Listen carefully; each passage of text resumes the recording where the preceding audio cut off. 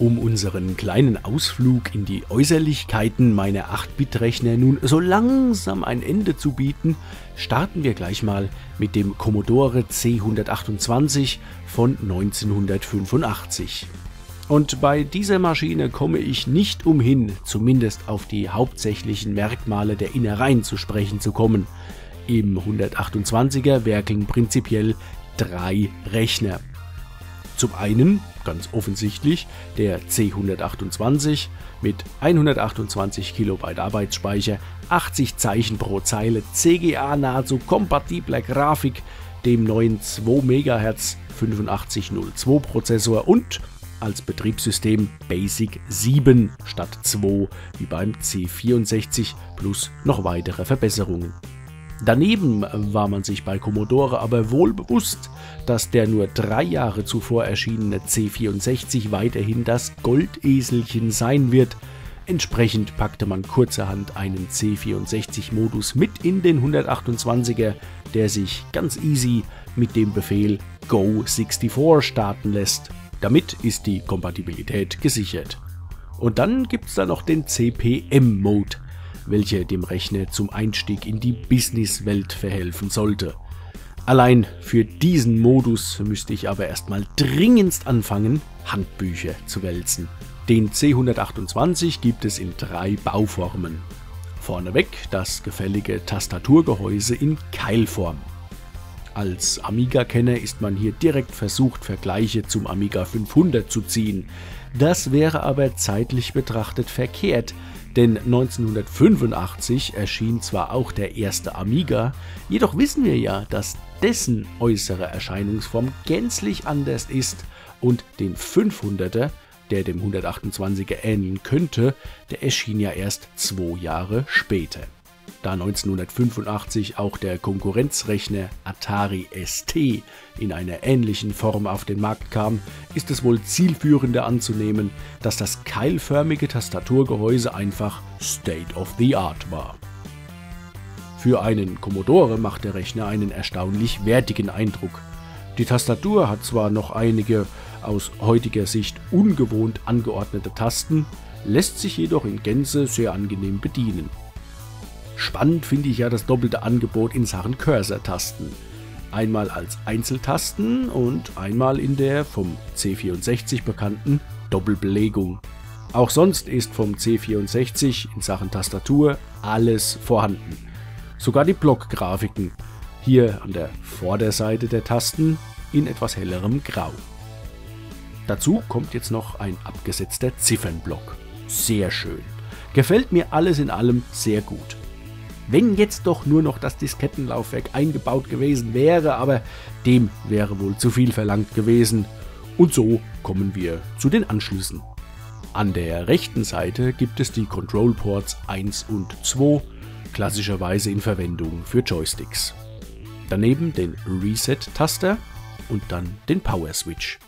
Dahinter befindet sich der Anschluss für das externe Netzteil, welches in seiner Bauform definitiv Pate gestanden hat für das spätere Amiga 500 Netzteil und all seine Ableger. Aber Vorsicht! Kommt bitte nie, nie auf den Gedanken, ein C128 Netzteil an einen Amiga oder andersherum anzuschließen. Die Stecker passen zwar, jedoch ist das Pinning falsch und die 9 Volt Wechselspannung der C128 bekommen dem Amiga überhaupt nicht gut. Unterscheidungsmerkmal Amiga-Netzteile haben den Power-Schalter am Netzteil, C128-Netzteile haben keinen. Weiter auf der Rückseite mit dem Expansion Port für ROM-Module, Speichererweiterungen und so weiter. Daneben der, wie ich finde, am C128 schon etwas klassisch anmutende Anschluss für eine externe Datasette. Es folgen die ebenfalls bereits bekannten Anschlüsse für die serielle Schnittstelle, Video und Audio, den TV-Antennensignalausgang und jetzt endlich was Neues, den neunpoligen Anschluss für den RGBI respektive CGA-Monitor. Wenn man alle Betriebsmodi des 128ers nutzen möchte, so empfiehlt sich ein Monitor wie etwa der Commodore 1084, welcher zwischen analogem RGB und eben digitalem RGBI umgeschaltet werden kann. Zuletzt gibt es noch den Userport. Knapp 3,1 Kilogramm bringt der nur 5,5 cm hohe Keil auf die Waage. Mit stattlichen 43 zu 32,5 cm braucht das Tastaturgehäusemodell des C128 zwar selbst schon ordentlich Platz, dennoch muss man aber noch mehr Raum einplanen, denn zumindest damals hätte man ja wohl mindestens mit einer Datasette oder, wenn das Kleingeld stimmte, mit einer Diskettenstation arbeiten respektive spielen wollen. Das können die Desktop-Gehäuseversionen des C128 schon besser. Laut Bill Hurt, dem damaligen Hardware-Teamchef des C128-Projektes, waren Tastaturgehäuse und C128D wie Desktop nahezu zeitgleich fertig für den Verkauf im Januar 1985. Jedoch befürchtete man Lieferengpässe bei einzelnen Komponenten und so wurde der C128D erst gegen Ende desselben Jahres in Europa angeboten. Im zweiten Halbjahr von 1986 erschien dann auch noch der C128D CR, wobei CR für Coast Reduced steht, was man angesichts seines massiven Metallgehäuses so erstmal gar nicht glauben möchte. Von vorne sind die beiden Desktop-Gehäuse, die nicht zufällig an den Amiga 1000 erinnern, beinahe identisch. Wichtigste Merkmale? Das eingebaute 5 1 Zoll Diskettenlaufwerk Typ 1571 und die abgesetzte Tastatur, welche mittels ihrer Füßchen den Anstellwinkel ergonomisch anpassen lässt. Auf meiner Tastatur hier finde ich es interessant, dass beispielsweise die Taste Y gleichzeitig ein kleines Z aufweist und die deutschen Umlaute Ä, Ö, Ü sowie unser SZ direkt aufgedruckt worden sind. Vielleicht kann mir ja jemand die Frage beantworten, ob dies ein spezielles Layout für den europäischen respektive den deutschen Markt ist. Dann haben wir noch die identisch angeordneten Power-LED und die Diskettenlaufwerksaktivitätsanzeige-LED. Am C128D ist der Powerschalter leicht erreichbar vorne links am Gehäuse angeordnet, während man an der CR-Version umständlich hinten links ums Eck greifen muss, um der Kiste Saft zu geben. Der Vorbesitzer meiner CR-Version hat hier vorne eine Reihe von LEDs eingebaut, bei denen ich bis heute nicht durchgestiegen bin, für was die gut sein sollen. Ignorieren wir diese, so bleiben an äußerlichen Unterscheidungsmerkmalen der beiden D-Versionen nur noch die Lüftungsschlitze an der CR-Variante im Gegensatz zum geschlossenen Gehäuse beim Plastik D. Umgangssprachlich wird jener hier als Plastikbombe und dieser hier als Blechdiesel betituliert, nicht gerade charmant, aber bezeichnend. Auf der rechten Seite offenbaren sich ein paar Unterschiede. Beim CR-Modell befindet sich hier der Anschluss für die Datasette, während dieser beim D-Modell hinten ist. Ansonsten haben wir noch den Anschluss für die Tastatur, Control Port 1 und 2, den Reset-Taster und ein Alleinstellungsmerkmal der Desktop-Varianten des 128ers, ein separater Reset-Taster für das 1571er Laufwerk. Was das hier unten am D-Modell ist, sehen wir später. Aber über das beinahe Sportcoupé-ähnliche Fastback mit Lüftungsschlitzen im Gehäuse des D-Modells will ich dann doch nicht kommentarlos drüber weggehen. Eine stylische Abreißkante. Hinten nichts erschreckend Neues. Expansion Port, beim D-Modell der Datasettenanschluss, serieller Port, Audio- und Videobuchse, RF-Anschluss fürs TV-Signal, der RGBI-Monitoranschluss und zuletzt der User-Port. Und auf der linken Seite lüftet sich nun das Geheimnis des Plastikbombers. Ein Griff zum Wegschmeißen, nee, zum, zum Mitnehmen. Eine verstaute Tastatur auf der Unterseite und hinten zwei Kabelhalter machen zusammen diese Variante des C128 zu einem im wahrsten Sinne des Wortes tragbaren Computer. Mit stattlichen 9 Kilogramm möchte man ihn aber gewiss nicht weit tragen. Was der Blechdiesel wiegt, kann ich euch leider nicht sagen. Ich musste ihm ein neues, deutlich leichteres Netzteil verpassen, nachdem sich das alte in Wohlgefallen bzw. in Rauch aufgelöst hatte. Zum Schluss sei hier gesagt, dass die beiden D-Versionen ja wuchtig wirken mögen, jedoch auf dem Tisch deutlich weniger Platz brauchen als das Tastaturgehäusemodell, denn immerhin kann man hier den Monitor oben drauf stellen und hat das Diskettenlaufwerk direkt mit eingebaut. In meinen Augen ist dieser 8-Bitter von Commodore der schönste, egal ob Tastaturgehäuse oder Desktop. Die Atari XE-Serie, das letzte 8-Bit-Kapitel des Unternehmens. Ob es diese Serie ohne den Wechsel Jack Trammels von Commodore zu Atari überhaupt jemals gegeben hätte, bleibt anzuzweifeln. Aber um die geschäftspolitischen Spitzfindigkeiten soll es uns ja nicht gehen und auch um die Namensdoppelbelegung 65XE und 800XE machen wir einen großen Bogen, indem wir uns einfach auf das zweite Modell, den 130XE, gestartet 1985, draufstürzen.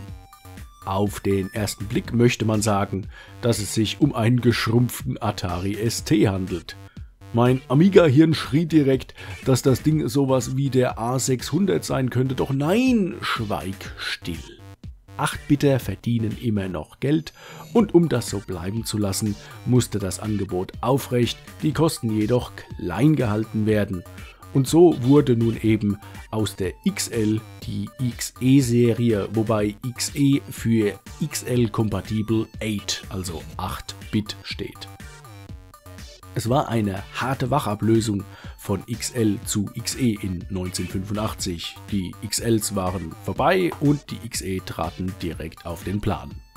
Das Gehäuse an sich gefällt mir sehr, wie das auch bei den meisten Ataris der Fall ist mit den schrägen Lüftungsschlitzen und den ebenso schrägen Funktionstasten, die immer noch weitestgehend gleich sind zu denen der ursprünglichen 400er und 800er, geht Atari recht mutig ins Feld, auch wenn die Bedienbarkeit darunter etwas leidet. Die Tastatur ist logisch und verständlich angeordnet, hat jedoch einen, wie ich finde, sehr unangenehm schwammigen Anschlag. Gewiss, äh, das ist Gewöhnungssache. Schauen wir von vorne auf die Tasten, entdecken wir auch hier Blockgrafikzeichen auf den Tasten. Von oben betrachtet gibt es hier unten die Power LED und sonst nicht mehr viel zu entdecken. Na, vielleicht kann man noch das erhabene Atari-Logo nebst dem XE-Schriftzug erwähnen. Der Text Atari selbst ist nur einfach aufgedruckt. An der Stelle auch nochmal eine Frage an euch. Meine XEs haben allesamt einen roten Atari-Schriftzug, alle meine STs einen blauen. Kann man daher generalisieren und sagen, dass Rot gleich XE und Blau gleich ST ist? Rechts gibt's die Joystick-Ports und sonst nichts. Hinten gibt es wieder den Atari-eigenen SIO-Bus für den Anschluss von verschiedenen Peripheriegeräten. Daneben der Anschluss für ROM-Cartridges und den Expansion-Port. Etwas ungläubig wurde ich hier jedoch, denn zuvor hatte ich ja noch in großen Tönen das schützende Gehäuse, etwa beim Cartridge-Port des 800XL erwähnt. Sieht auch hier erstmal schön aus, aber wenn man sich das so von unten anschaut, so ist hier einfach ein Loch im Gehäuse unschön. Warum muss das so? Daneben dann wieder nichts überraschend Neues für uns, die Anschlüsse für Monitor, TV, Netzteil und der Powerschalter. Übrigens gab es dazu auch optisch passend die Atari Datasette XC12. Die Atari XE-Serie in einem Satz. Moderner Look für bewährte Technik. Genau weiß ich es nicht, aber ich vermute einfach mal, dass auch Commodore seiner bewährten 8-Bit-Technik, also sprich dem C64, ein modernes Aussehen verpassen wollte, als es 1986 eben diesen Rechner in dieses dem C128 nicht unähnlichen Gehäuse gestopft und als C64-2 bzw. C64C angeboten hat ein 64er als flacher Keil. In der letzten Folge hatte ich mich ja schon als Feind der Brotkastenform geoutet und gerne bekräftige ich dies hier auch nochmal, indem ich sage, dass mir der C64C von allen klassischen C64 am besten gefällt. Da ich nicht auf technische Details eingehen möchte, möchte ich euch aber an dieser Stelle auf die Jungs vom Virtual Dimensions Kanal verweisen, denn deren Back in Time Video Nummer 49 beschäftigt sich erschöpfend mit allen klassischen Varianten des C64. Für mich ist der C eine konsequente Weiterentwicklung hin zur ergonomischen Bedienbarkeit ohne lästige Überraschungen. Die Tastatur ist okay, alle Beschriftungen sind jetzt oben drauf, was das Ganze etwas überladen wirken lässt, aber auch das dürfte unter die Gewohnheit fallen. Und wenn wir um das Gehäuse einmal herumschauen und alle Anschlüsse beäugen, so muss ich die jetzt gar nicht mehr benennen, sondern nur sagen, dass sie kompatibel zu den vorhergehenden und den nachfolgenden Versionen sind. Was ich nun aber absolut nicht verstehen kann, ist, warum Commodore nach dieser Gehäuseform wieder auf den Brotkasten gesetzt hat. Aber naja, sei es drum. Bei dem Laden verstehe ich so einiges nicht. Und jetzt wird's komisch. Und das liegt nicht nur daran, dass es wieder um Sinclair-Computer geht. 1986 kaufte Amstrad das Unternehmen Sinclair Research auf und setzte die ZX Spectrum-Reihe fort. So verwundert es nicht, dass dieser Spectrum Plus 2 dem Amstrad CPC 464 und der Spectrum Plus 3 dem CPC 628 ähnelt. Letzterer übernahm sogar das seltene 3 Zoll Diskettenformat des 628. Nichtsdestotrotz sind die beiden Geräte deutlich schlanker ausgeführt und moderner designt. Sogar farblich hat man hier Akzente gesetzt. Der Spectrum Plus 2 erscheint in etwas hellerem Grau als der Plus 3. Vom Laufwerkstyp und von der Gehäusefarbe mal abgesehen, haben die beiden viele Gemeinsamkeiten. Wie etwa die, wie ich finde, toll aussehende Tastatur. Aber es wäre kein Sinclair, wenn sie haptisch nicht eher mittelprächtig wäre. Schön finde ich, dass die Schriftzüge Sinclair 128K, welche für den Arbeitsspeicher stehen, und ZX Spectrum plus 2 bzw. plus 3 erhaben ausgeführt und nicht einfach nur draufgedruckt sind. Und was den Cursor angeht, so haben wir hier da mal wieder was Neues. Links der Leertaste geht's nach links und rechts und rechts der Leertaste rauf und runter. Wenn wir jetzt mal rundum schauen, sehen wir auf der rechten Seite des Plus 2 nichts, beim Plus 3 hingegen zwei Schrauben, wohl die des internen Diskettenlaufwerks. Beim Plus 2 geht's hinten los mit der sehr einfach ausgeführten Stromversorgung für 9 Volt Gleichspannung. Daneben kommt der Platinenanschluss für Expansion I.O. Die Steckertypen daneben, tja, verrat mir mal bitte einer, wie sich diese Bauform nennt. In meiner Sammlung sind die auf jeden Fall einmalig. Die erste Buchse ist für RS232, also die serielle Schnittstelle, oder für MIDI. Im Handbuch steht dazu, dass man je nachdem, als was man die Buchse nun nutzen möchte, einen entsprechenden Adapter bei Sinclair erwerben soll. Hab ich leider keinen da. Daneben in eben der gleichen mechanischen Ausführung ein Anschluss mit der Bezeichnung Keypad. Ich tippe jetzt einfach mal ganz frech drauf, dass man hier einen separaten Nummernblock anschließen kann. Es folgt die Buchse für den RGB-Monitoranschluss, den TV-Modulatorausgang und die 3,5 mm Klinkenbuchse für den Anschluss von Lautsprechern bzw. Kopfhörern. Beim Plus 3 sieht es am Heck etwas anders aus. Es geht los mit der Anschlussmöglichkeit für ein zweites Laufwerk. Daneben der Anschluss für einen Drucker. PSU steht für Power Supply Unit. Hier kommt also die Spannungsversorgung dran, die etwas aufwendiger ausfällt als beim Plus 2. Dies ist dem internen Diskettenlaufwerk geschuldet. Es folgt der Anschluss vom Expansion I.O., den wir schon vom Plus 2 kennen. Daneben wieder die RS232 MIDI Doppelbelegung und nun haben wir hier so eine Buchse, die mit AUX bezeichnet ist, nicht mehr mit Keypad. Im Plus 3 Handbuch heißt es dazu, dass es hier zwei digitale Ein- und Ausgänge drauf gibt, plus 12 Volt und Ground. Weiterhin heißt es, dass man diesen Ausgang softwareseitig in einen zweiten RS232 oder MIDI-Anschluss konfigurieren könnte oder zu was auch immer man die IOs benutzen möchte. RGB ist klar, aber was ist nun Peritel? Das ist französisch und bedeutet nichts anderes als SCART. Es folgt wieder mal der TV-Modulatoranschluss.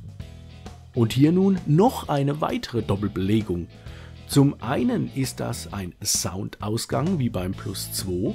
Mit einem passenden Y-Kabel kann man hier aber auch einen externen Datacorder anschließen, denn ein solches hat der Plus 3 ja nicht. Auf der linken Seite weist man freundlich darauf hin, dass man doch bitte nur Sinclair Joysticks an Port 1 und 2 verwenden möge. Auch hier klärt das Handbuch auf, andere Joysticks, beispielsweise von Atari, hätten eine andere Pin-Belegung. Deswegen die hauseigenen benutzen. Zuletzt haben Plus 2 und Plus 3 hier noch einen Reset-Taster. Einen Powerschalter finden wir am Gerät keinen, dies geschieht extern. Und damit ich wenigstens einmal was Gutes über Sinclair Computer gesagt habe, diese beiden sind in meiner Sammlung mit Abstand die schicksten Sinclairs. Sie gefallen mir richtig gut. Naja gut, Amstrad sei Dank. Und damit sind wir einmal durch meine 8-Bit-Homecomputer durchmarschiert. Na, vielleicht das Atari XEGS noch, aber vielleicht wird da mal eine eigene Folge draus. Und ich muss schon sagen, in Sachen Design haben einige Hersteller ihre Fantasien schon ordentlich galoppieren lassen. Ergonomie und intuitive Bedienbarkeit standen dabei wohl oftmals nicht ganz oben auf dem Konstruktionsplan. Aber eben diese ganz charakteristischen Formen und Farben haben sich bei den damaligen Benutzern und heutigen Liebhabern festgesetzt. Es wäre ja auch eine Affenschande, wenn alles immer gleich aussehen würde.